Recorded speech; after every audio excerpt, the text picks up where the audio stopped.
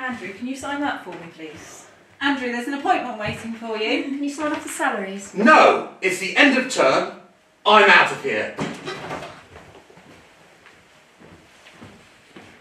About time we got a new head.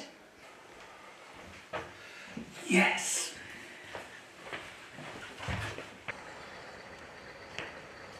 Holidays.